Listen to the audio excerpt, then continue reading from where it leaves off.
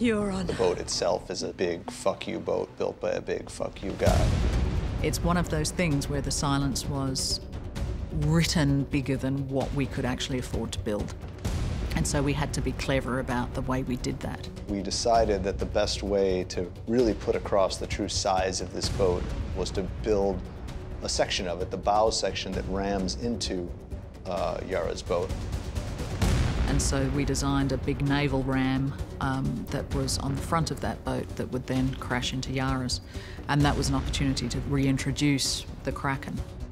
And also we had the, the Corvus itself. We built the, the Corvus so that it was became lightweight and, and very strong. We had a stuntman standing on the end, but obviously a controlled fall, so we had to make sure we had the right speeds, which meant that we had to control it with a wrench system. Here we go. And three, two, one.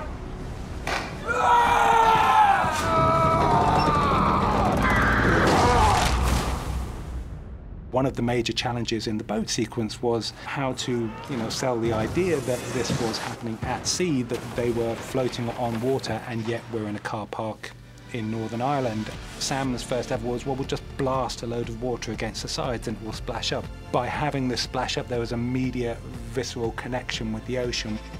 Uh, we had green screens 60 feet high, all the way around the ship.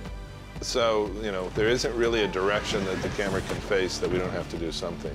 We're big believers that real photographed elements are what helps sell the reality of our scenes. Part of the look of it all, having a lot of embers burning through the shot as if all the boats are on fire. So uh, we created um, ember guns.